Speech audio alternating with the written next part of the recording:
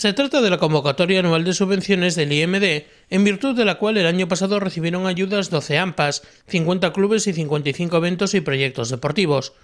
Es por tanto, ha señalado Gómez Amanillo, una convocatoria importante que contribuye de forma decidida al sostenimiento y potenciación de la actividad en los clubes y escuelas deportivas. Si bien el montante total supera los 125.000 euros, la convocatoria se divide en tres bloques diferentes el primero dotado con 31.775 euros para los clubes deportivos, el segundo para eventos deportivos dotado con 85.000 euros y el tercero una subvención para las AMPAs de los colegios para distintos eventos de 8.236 euros. Desde la concejalía se ha hecho un gran esfuerzo para consignar suficiente dinero para permitir mantener y en lo posible potenciar las actividades deportivas y saludables entre los ciudadanos de Torrelavega, ha asegurado Gómez Amanillo.